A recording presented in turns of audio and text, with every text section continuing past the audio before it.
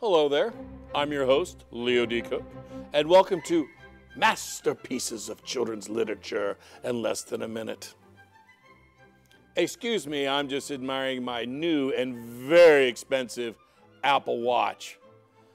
Unfortunately, I'm having a tough time figuring out what time it is.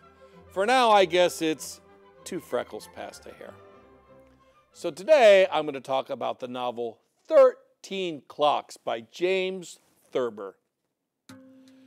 This story is about a royal total jerk of a guy, a duke, who lives in a castle with his good and beautiful niece, the Princess Saralinda.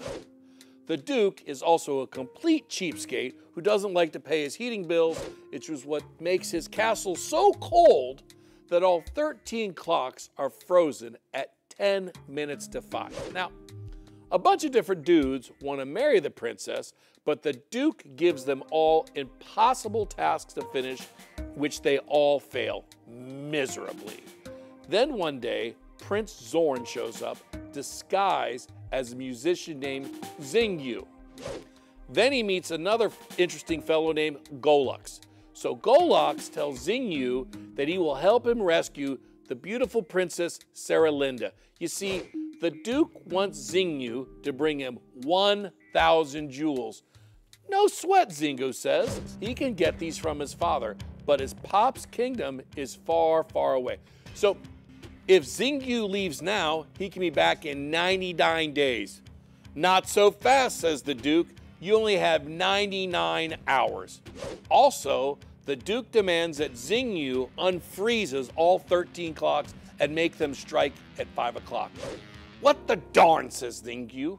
So Xingu and his buddy Golux visit a woman named Hagga, who has the ability to weep jewels. Gosh knows what happens when she has to blow her nose. Anywho, Hagga has lost the ability to weep these jewels because she has cried so much. Now, Xingu and Golux make her laugh tears of joy, but these are essentially worthless. They become so bummed out over this that Hagga begins to cry and starts bawling out jewels again. These two guys get their 1,000 precious stones. Now, Xingu and Golux head back to the castle of the evil Duke, but he has thrown them a curveball. You see, Saralinda is not actually his niece, and he kidnapped her when she was a little girl. See, I told you he was a total jerk.